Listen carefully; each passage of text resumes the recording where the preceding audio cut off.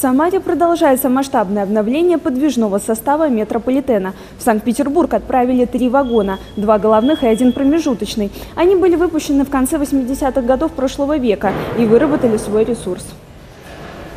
Вагоны ждут на базе Октябрьского электровагонно-ремонтного завода, с которым был заключен договор. В заводских условиях обновят кузова и полностью переоснастят транспорт. После модернизации вагоны можно эксплуатировать еще 15 лет. Во время капремонта каждый старый вагон разбирается вплоть до винтика. После обновления у вагонов будут новый интерьер и экстерьер, электросистема, система вентиляции и многое другое техническое оборудование. Также состав станет более безопасным для пассажиров. В вагонах метрополитена в определенном определенных отсеках э, устанавливается автоматическая э, система пожаротушения в случае возникновения пожара на автоматическом режиме запускается в эксплуатацию. В вагонах метрополитена установлены камеры видеонаблюдения. Между сцепки вагонов метрополитена устанавливается дополнительное заграждение для того, чтобы э, пассажиры, которые находятся на платформе, случайно не упали, не попали в межвагонное пространство. Меняется система связи между пассажирами и машинистом электроподвижного состава. Обновление подвижного состава Самарской подземки началось почти 6 лет назад. В парке Самарского метрополитена 50 вагонов, из них 28 капитально отремонтировали, а также ранее закупили один новый состав из четырех вагонов. По словам специалистов, капитально отремонтированные поезда не уступают совершенно новым.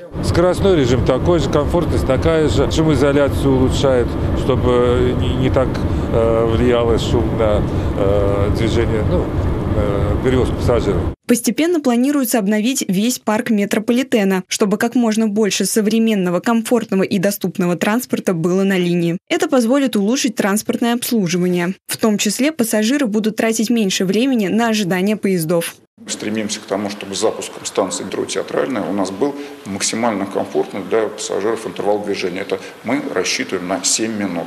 Поэтому для этого нам надо сделать еще капитальный ремонт не меньше, чем 12 вагонов. Сейчас у нас интервал в утренние э, часы э, и вечерние часы в пиковую нагрузку 10 минут, а в меж э, пиковую нагрузку 12 минут. Перед отправкой вагонов на капремонт часть оборудования демонтировали, проверили систему торможения. Вагоны транспортируют при помощи тепловоза по железной дороге, ширина рельсовой колеи, которая совпадает с шириной колеи российских метрополитенов. Срок сдачи капитально отремонтированных вагонов – 2025 год. Подрядчик должен исполнить обязательства до конца августа. Все новые вагоны и те, что прошли капремонт, тщательно проверяются. Специалисты завода и Самарского метрополитена участвуют в приемке, осматривают состав составы проводят пусконаладку, обкатывают вагоны и только потом выпускают на линию, чтобы пассажиры могли добираться до места назначения комфортно и безопасно. Сейчас в разработке амбициозная программа ремонта и модернизации существующей транспортной инфраструктуры и строительство новой, которую предстоит реализовать в ближайшие годы. Власти города надеются, что правительство региона поддержит программу. Елизавета Прокопенкова, Сергей Баскин, Константин Головин. События.